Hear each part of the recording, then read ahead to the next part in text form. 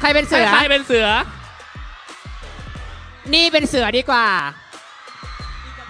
เออ อ๋อ เป็นกระต่าย อันนี้ อันนี้เป็นเสือ อันนี้เป็นกระต่าย อ่าอ่าอะอ่าเสือลองนะ ต้องนิ่งที่สุด กระต่ายพยายาม ยั่วให้เสือกิน อะอะกล้ากล้าหนึ่งสองสามเออเอ้ย